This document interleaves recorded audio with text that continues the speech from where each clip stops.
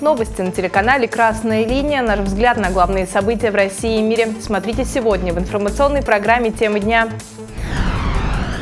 Сегодня, когда кризис капитализма резко обострился, когда пахнет в воздухе большой войной, тесное взаимодействие России, Китая и наших партий имеет исключительное значение.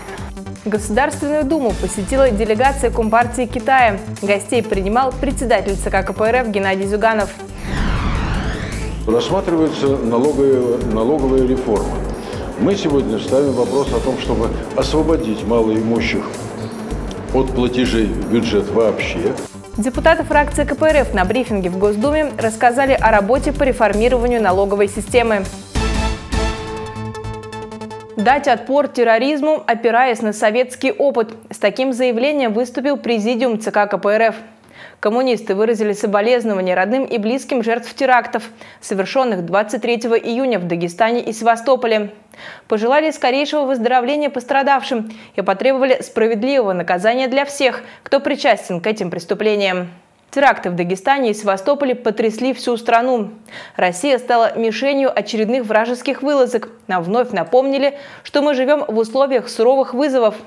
Обе атаки, по мнению коммунистов, преследовали общую цель за этими преступлениями стоят те же, кто разрабатывал сценарий нападения на Белгород и вербовал участников терактов в подмосковном Крокус-Сити-Холле. Цитата. Организаторы этих действий хотят наказать нашу страну за борьбу с неонацизмом на Украине, самостоятельную политику на международной арене и противодействие неоколониализму. Они стремятся сломить нас, запугать, лишить воли к сопротивлению. Для этого удары наносятся в самые чувствительные области – по жизни мирных граждан и межнациональному согласию. Конец цитаты. В заявлении отмечается, что за спинами исполнителей скрывается мощная, хорошо организованная сила. Терроризм, как порождение капитализма, привык кутаться в националистические и религиозные одежды. И сегодня империализм использует его в своих интересах, разжигая конфликты и стравливая народы. Цитата. Украина и Россия – один из лакомых кусков для этих озверевших кругов. Ярким примером терроризма в интересах США и НАТО стал государственный переворот на Украине в 2014 году. Запад оказал полную поддержку боевикам на Майдане, позорно замалчивал трагедию Одесской Хатыни, цинично игнорировал обстрелы бандеровскими войсками жителей Донецкой и Луганской народных республик. Конец цитаты. КПРФ отмечают, чтобы победить в войне, объявленной русскому миру, необходимо опереться на советский опыт. Успех СССР в борьбе с терроризмом обеспечили решительность, внесение разлада в ряды врага, грамотная национальная политика, но главное – устранение корней, питавших терроризм. Цитата. Искоренить терроризм значит уничтожить его источники. Социальный раскол и имущественное неравенство, беззаконие и несправедливость, нищету и бесправие миллионов жителей. Мы убеждены, невозможно рассчитывать на успех, ведя борьбу со следствиями, а не с причиной. Чтобы победить терроризм, нужно преодолеть капитализм, сплотить общество на идеалах справедливости, а значит социализма. Конец цитаты. В КПРФ уверены, великий пример такого сплочения дает нам советский опыт, а путь к подлинной безопасности лежит через оздоровление экономики и социальной жизни. Мирная инициатива России способна остановить конфликт на Украине и перевести его разрешение в дипломатическое русло. Об этом говорится в обращении президента Владимира Путина к участникам 10-го международного форума «Примаковские чтения». В этом году их тема «Россия в мировом контексте». Коротко о других новостях в стране. Следственный комитет назвал одну из версий пожара в здании в подмосковном Фрязине. Причиной возгорания могла стать неисправность электропроводки. Пожар случился 24 июня в помещении на пятом этаже, после чего огонь распространился по всему зданию. В результате происшествия есть погибшие. В России средняя зарплата продавцов выросла за год на 12,5% и составила 46 тысяч рублей. Об этом свидетельствуют результаты исследования сервиса «Работа.ру». Также отмечен возросший интерес компаний к найму продавцов на фоне текущих рыночных условий. Сбер открыл первые партнерские и мобильные офисы в Донецкой и Луганской народных республиках, а также в Запорожской и Херсонской областях.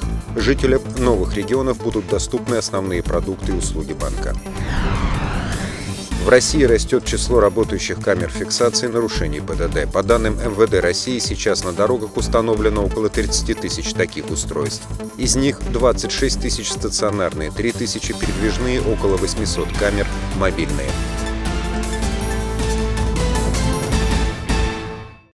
В Госдуме на повестке дня вопросы экономики. Самым жарким может стать обсуждение налоговой реформы и введение прогрессивной шкалы. Также парламентарии подводят итоги исполнения федерального бюджета и бюджета социального фонда за прошлый год. К последнему у депутатов фракции КПРФ очень много вопросов. Свои выступления перед журналистами в Госдуме депутаты начали с соболезнований всем семьям погибших и пострадавших в террористической атаке в Республике Дагестан и при обстреле пляжа в Севастополе. В Нижней палате парламента обсуждают сразу несколько экономических тем. Первый из них – индексации пенсии работающим пенсионерам. Фракция КПРФ трижды вносила это предложение, но «Единая Россия» его неизменно отклоняла. Теперь предложил сам президент. Мы всегда были за то, чтобы пенсия индексировалась. Потому что инфляцию придумали не пенсионеры, ее делает правительство, причем умышленно. И если они умышленно создают инфляцию, то они обязаны все убытки компенсировать за счет федерального бюджета. Так записано в Конституции. Кроме того, э, рассматривается налоговая, налоговая реформа. Мы сегодня ставим вопрос о том, чтобы освободить малоимущих от платежей в бюджет вообще. Ну, допустим, тех людей, которые получают менее 20 тысяч в месяц, надо освобождать. Еще одна важная тема – введение прогрессивной шкалы в рамках налоговой реформы. В нынешней редакции предложена налоговая ставка для богатых с доходом свыше 50 миллионов рублей в год в 22%. Коммунисты считают, что этого недостаточно. Дополнительные доходы в бюджет от повышенной ставки в КПРФ предлагают направить на пенсии и надбавки детям войны. Они были лишены детства, им пришлось восстанавливать разрушенное войной хозяйство, и они создали ту индустрию, которой пользуются сегодня олигархические структуры нашего э, государства. Так давайте у олигархов заберем то, что принадлежит детям войны, и отдадим им, пусть они немножко вздохнут. К бывшему пенсионному фонду, а ныне социальному, у коммунистов вопросов еще больше. Его реорганизовали для того, чтобы более эффективно повышать пенсии и социальные выплаты, а также надбавки бюджетникам, врачам, воспитателям, педагогам. К большому сожалению, никакого опережающего роста пенсии, несмотря на пенсионную реформу и множество обещаний, не произошло. Пенсия Российской Федерации, трудовая страховая пенсия Российской Федерации на сегодня крайне низка. Она далека даже от той цифры, которую рассчитали ученые, которая, ну, скажем так, компенсирует только минимальные физиологические потребности. Я напомню, что два года назад эта цифра была в районе 31-32 тысяч. Сегодня пенсия страховая трудовая с приличным стажем это порядка 22 тысяч, точнее в 2023 году. И, безусловно, никаких потребностей пенсионеров она не покрывает. По данным Алексея Куренова, за год работы социального фонда очередь на получение санаторно-курортных путевок снизилась с 460 до 440 тысяч человек. Инвалиды жалуются, что не могут получить положенные им бесплатно специальные средства реабилитации. Врачи на селе массово увольняются из-за низких зарплат и отсутствия условий труда. Сложилась парадоксальная ситуация. С 1 марта, например, фельдшера, которые работают в фельдшерско-акушерских пунктах в сельской местности, получают надбавку 30 тысяч рублей, а работники скорой помощи, те же самые фельдшера, получают надбавку 7 тысяч рублей. То же самое касается и врачей. Там разница тоже приблизительно в 2-2,5 раза. И понятно, что это решение, на наш взгляд, несправедливое, неправильное, привело к тому, что сегодня наблюдается массовый отток со службы скорой медицинской помощи как раз в малых городах и сельских населенных пунктах. Депутат фракции КПРФ Денис Парфенов подробно остановился на налоговой реформе. Предложенный налог на прибыль в 25% КПРФ предлагает сделать тоже прогрессивным. В разных отраслях экономики норма прибыли э, существенно отличается. В значит, банковской сфере, в торговле, в строительстве норма прибыли очень велика. Зачастую она превышает даже 100%. При этом э, в подавляющем большинстве производственных отраслей э, норма прибыли очень маленькая, и она даже не покрывает э, тех высоких кредитных ставок, которые имеются. И получается, что э, обкладывая всех совершенно одинаковой ставкой налога на прибыль, э, правительство так или иначе, э, прямо или косвенно, но способствует, опять же, сдерживанию развития производства. На наш взгляд, это совершенно неправильный подход КПРФ уверены, что налоговую систему уже сейчас можно сделать намного более эффективной. Все инструменты для этого уже проработаны и предложены коммунистами. Налоговая реформа пока носит крайне ограниченный характер. Да, в ней есть прогрессивные положения, и где-то полшага вперед она делает, но мы считаем своей задачей э, добиваться того, чтобы были учтены наши поправки, для того, чтобы налоговая реформа действительно становилась справедливой. Вокруг этого будет в ближайшее время выстроена вся наша работа. 25 июня Евросоюз начал формальные переговоры о вступлении Украины и Молдавии в сообщество. Как заявил глава Евросовета Шарль Мишель, процесс интеграции будет долгим. Чтобы соответствовать стандартам полноправного членства в ЕС, Украине и Молдавии будут необходимы антикоррупционные, судебные и экономические реформы. Коротко о других новостях в мире. На саммите Шанхайской организации сотрудничества Белоруссия будет официально принята в полноправные участники объединения. Об этом заявил министр иностранных дел России Сергей Лавров на встрече с президентом Беларуси Александром Лукашенко. Саммит ШОС пройдет в Астане 3 и 4 июля. Лидеры стран Евросоюза договорились о выдвижении Урсулы фон дер Ляйен на второй срок на пост главы Еврокомиссии.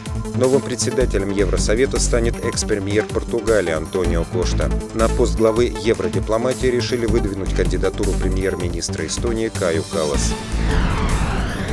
Основателя Wikileaks Джулиана Ассанжа освободили под залог из британской тюрьмы, где он находился под стражей с 2019 года. Ассанж предстанет перед судом в Австралии, где, как ожидается, частично признает вину в рамках сделки с прокуратурой США. Это позволит ему выйти на свободу.